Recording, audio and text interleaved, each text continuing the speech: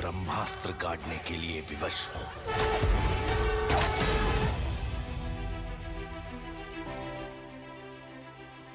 तो hello and welcome again दोस्तों। इस साल की दो जाइंट फ़िल्में आदि पुरुष और पठान। ये दोनों फ़िल्में काफ़ी लंबे समय से चर्चे में रही थी। और दोनों ही फ़िल्मों ने क्या रिकॉर्ड तोड़ ओपनिंग करी थी और पहले ही दिन तमाम बड़ी बड़ी फ़िल्मों का रिकॉर्ड तोड़ दिया था। इवन आदि पुरुष ने पठान का ओपनिंग डे रिकॉर्ड तक तोड़ दिया था। तो आज जानेंगे कि दोनों फ़िल्में में बेस्ट रिव्यू किसको मिले थे, किसने कितनी कमाई करी है, पहले तीन दिन में सबसे ज़्यादा कमाई किसने करी क्या आदि पुरुष पठान की तरह हज़ार करोड़ से ऊपर का कलेक्शन कर पाएगी। सब जानेंगे बस कुछ ही देर में तो वीडियो को अंत तक ज़रूर देखना। अगर आप बी एस आर के और प्रभास के डाई हार्ट फ़ैन है, तब। लेकिन उससे पहले वीडियो को एक लाइक और नए हो तो चैनल को सब्सक्राइब ज़रूर करना तो चलिए शुरू करते हैं। दोस्तों, आदि पुरुष और पठान दोनों फ़िल्में रिलीज़ होने के पहले ही काफ़ी लंबे समय से ट्रेंडिंग में रही थी। बात अगर पठान की करें तो पठान को मिक्स रिव्यू और रिएक्शन मिले थे। किसी को पठान बहुत ज़्यादा पसंद आई थी, किसी के दिल में पठान जगह बना ही नहीं पाई थी। लेकिन उसके बावजूद इस साल की सिनेमाघर में लॉन्ग लास्ट टिकने वाली मूवी थी, जो शुरू के दस दिन तक लगातार हाउसफुल शोज़ देकर पब्लिक को खूब एंटरटेन किया था। दोस्तों, वाकई में मानना पड़ेगा, पठान ने जो एक्शन था, पठान का जो एक्शन सिक्वल था, वो एक बार के लिए हॉलीवुड को टक्कर दे रहा था।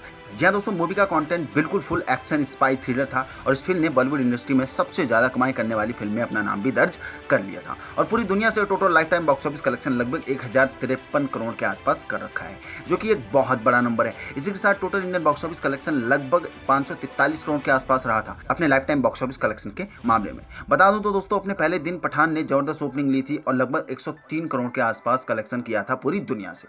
और अपने पहले तीन दिन में तीन सौ करोड़ से ऊपर का कलेक्शन पूरी दुनिया से करके वहीं अगर बात करूँ पहले तीन दिन के इंडियन बॉक्स ऑफ़िस कलेक्शन की तो दोस्तों, पहले दिन ज़बरदस्त ओपनिंग ली थी सत्तावन करोड़ की इंडिया से और दूसरे दिन सत्तर करोड़, तीसरे दिन उनतालीस करोड़ और पहले तीन दिन का ही इंडियन बॉक्स ऑफ़िस कलेक्शन लगभग एक करोड़ के आसपास कर लिया था।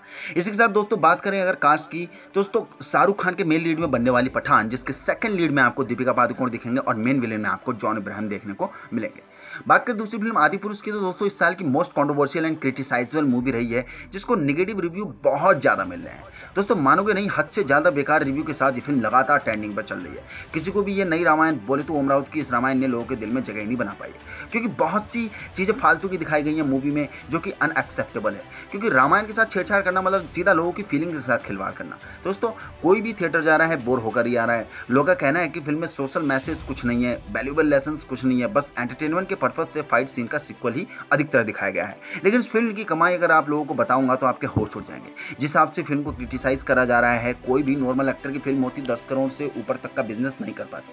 लेकिन वही बात है ना, प्रभास और रामायण का नाम इस्तेमाल करके ये लोग खूब नोट छाप रहे हैं और अपनी रोटी रोज सेक रहे हैं। जहाँ दोस्तों नेगेटिव रिव्यू मिलने के बाद भी मूवी ने पहले ही दिन लगभग दुनिया से 140 करोड़ का बिज़नेस करने में सफल हुई थी और ज़बरदस्त ट्रेंड करते हुए पहले तीन दिन में ही लगभग 340 करोड़ का आंकड़ा पार करने में सफल रही है पूरी दुनिया से। जहाँ दोस्तों, पठान का पहले तीन दिन का worldwide box office collection को भी खदेड़ दिया था आदि पुरुष ने। अपने पहले तीन दिन के, हर दिन पठान के रिकॉर्ड तोड़कर खदेड़ा है आदि पुरुष ने। लेकिन चौथे दिन से हर दिन आंकड़ा स्लो होता दिखा है। मूवी को इतना क्रिटिसाइज करा गया है कि अब ग्रोथ पूरी तरीके से रुक सी गई है। शायद ही ये अपनी लागत साढ़े छह सौ करोड़ निकाल पाए। जिस हिसाब से इसके चौथे, पाँचवें और छठवें दिन के कलेक्शन हुए हैं, उसे देखकर साफ़ ज़ाहिर होता है कि मूवी 500 करोड़ कमा ले, यही बात है। दोस्तों, आदि पुरुष को रामायण के कंटेंट के साथ रिक्रिएट करके पब्लिक को नई तरीके से दिखाने की कोशिश करी थी, जो बिल्कुल पसंद नहीं आया जनता को। और मूवी फ्लॉप होती दिख रही है। जी हाँ दोस्तों, प्रभास के मेन लीड में बनने वाली आदि पुरुष, जिसमें सेकंड लीड में आपको कृति सनन देखेंगी मेन विलेन में आपको रावण के रूप में सैफ अली खान दिखेंगे, और लक्ष्मण के रूप में सनी सिंह, हनुमान के रूप में देवदत्त नागे जैसे दिग्गज स्टार भी आपको देखने को मिलेंगे। दोस्तों, दोनों फ़िल्मों के सारे फैक्ट्स फिगर्स मैंने आपके सामने रख दिए हैं। मैंने बहुत बोल लिया, अब आपकी बारी। पहला तो ये, अगर दोनों फ़िल्में अभी तक आप लोगों ने देख लिया तो आपको बेस्ट मूवी कौन सी लगी? दूसरा ये क्या आदि पुरुष भी पठान की तरह हज़ार करोड़ से ऊपर का बिज़नेस कर पाएगी? फटाफट मेरे अकाउंट से ज़रूर सर करके जाना। बाकी मूवी रिव्यू और बॉक्स ऑफ़िस से जुड़ी सारी अपडेट्स के लिए और बॉलीवुड हॉलीवुड और साउथ फ़िल्मों के अपडेट्स के लिए हमारे साथ ऐसे ही जुड़े रहना। और अगर चैनल पर नए हो तो सब्सक्राइब ज़रूर करना। दूसरा, अंगूठे वाला बटन दबा के वीडियो को लाइक ज़रूर करना। मिलते हैं अगली वीडियो में। जय हिंद।